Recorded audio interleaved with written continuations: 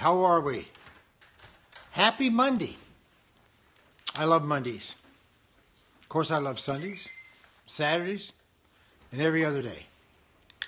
Hey, I want to talk to you today about something that is so important, something that is so missed, and that is when to stop praying. How many of you know that prayer is not always a good thing? Don't, don't hang up the phone. Don't hang up the phone. It's always good to talk to the Lord. It's always good to praise the Lord. But sometimes prayer is not a good thing. And sometimes you have to know when to stop praying. The Lord showed me this the other day. I'm telling you, He dropped it into my spirit. We've been been going through uh, a deal with uh, some people, and uh, you know, I'm I'm a very competitive person. I don't like to lose. Now, when I play cards for fun or play ball or, or something like that for fun, then I'm not real aggressive. But I'm aggressive when it comes to the devil. I'm aggressive when it comes to sickness. I'm aggressive when it comes to getting God's people blessed. I am very aggressive and very much of a warrior. I do not like to lose those battles. I take it personally.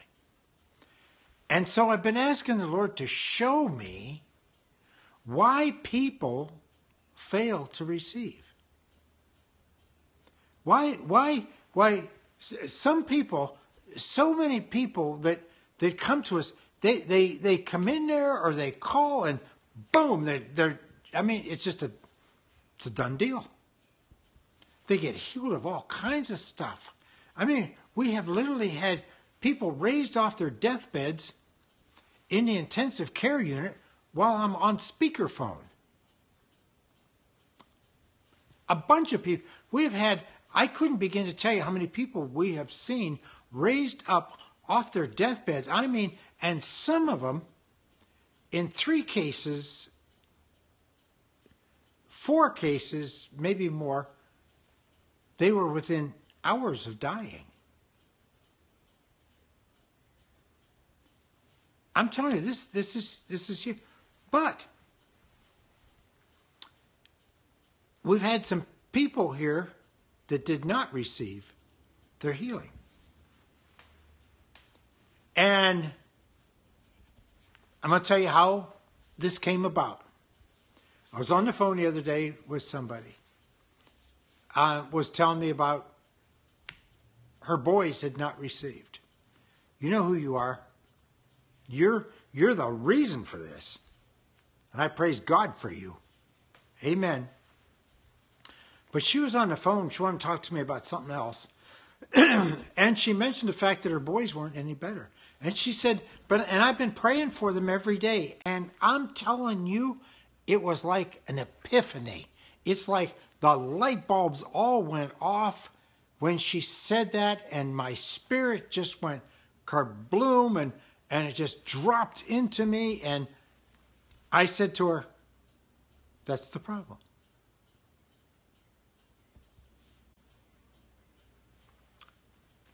That's the problem. You're still praying. She is praying and asking God and trying to make something happen that was already done. now here's the deal. I want to. I want to. I'm going to make a statement. I'm going to make a statement to you. Every time I speak over somebody or pray over somebody, I get results. Every single solitary time without fail. Because of the name of Jesus. The name of Jesus never fails. Never fails. absolutely never, it never fails to heal a sick person. It never fails to heal finances. It never fails to bless somebody who needs to be blessed. That name never fails. But I'll give you an example. a man, well, I was taken to see a person dying of cancer, very prominent businessman in our area. This guy, beautiful home, probably a million dollar home we went to. He's laying stretched out on a chair. His friend came to the door. He said, I'm sorry. He says, I can't get up. He says, he, he's just, he's literally laying there screaming in pain. This cancer was wrapped around his colon and rectum, squeezing him. And he could not function. His body was not function, and he was literally screaming in pain. So his friend talked for a little bit. And then we kind of indicated it was my turn. and I said to the guy, I said, all I said was, Do you believe God can heal you? Do you believe God can do this? And he said, Yes, if he wants to. I said, Whoa, this guy goes to a very prominent church here in this area. They're packed. Three services every Sunday morning. The cops have to stand out on the street to let the cars out. There's so many people. I said, listen. I said, God never wants you to die of sickness or disease. He always wants you healed. The guy didn't know that. I said, I'm going to speak over you and pray over you right now, and God's going to heal you right now. He said, okay. So I did. Well, we're sitting there. After I'm done, he's still screaming in pain. And we just sit there. About 15 minutes later, he says, he says, the, he says, the pain's leaving. He says, the pain's leaving. He says, it's stopping. 10 minutes after that, this guy gets up. He stands up. And it was time for us to go, and he walked outside with us. He is standing outside talking to us like there's nothing wrong with him. The name of Jesus healed that man. He was healed. I believe with all my heart the name of Jesus healed that man. Three days later, I get a message from him that he's back in pain. What happened was he went right back to the doctor. Went right back on the pain pills. Kept praying. Kept praying. His friends kept coming in praying for him. It was back. Back that quick. So I went back down there again. Spoke over him again. He felt better. Never stopped praying. So then he says to me, he says, uh, I went down there on a on a Sunday night, and his wife was there, and his wife's sister was there. And he says, I'm going to have surgery tomorrow to relieve this pain in my colon. I said, Well, okay. I don't tell anybody not to seek treatment. Never. Never said, okay. I said, when you do, after they relieve the pain, and doctors sometimes can relieve pain, that's a good thing. We believe in doctors. We just don't look to them as our healer.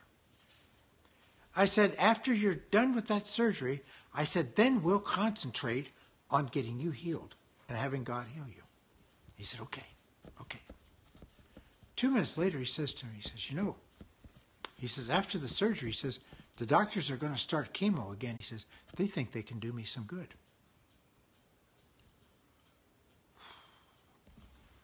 I told him, I said, listen, you are not going to die of this cancer. You won't die of this cancer. The next morning, he had the surgery.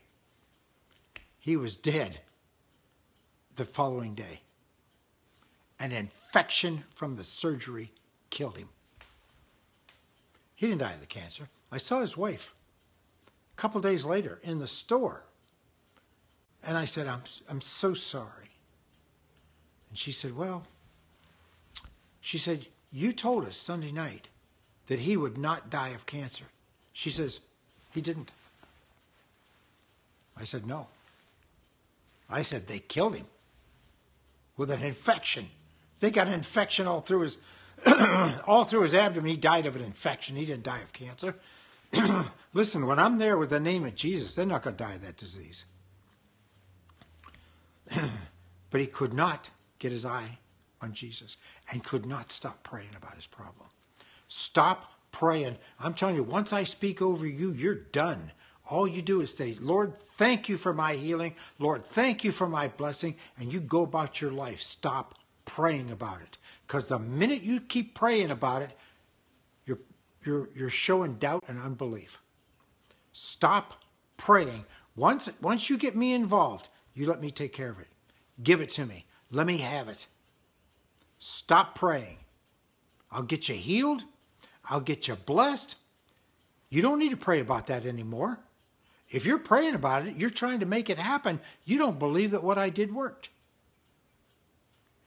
Those are the people that don't receive. That's the reason. Glory to God.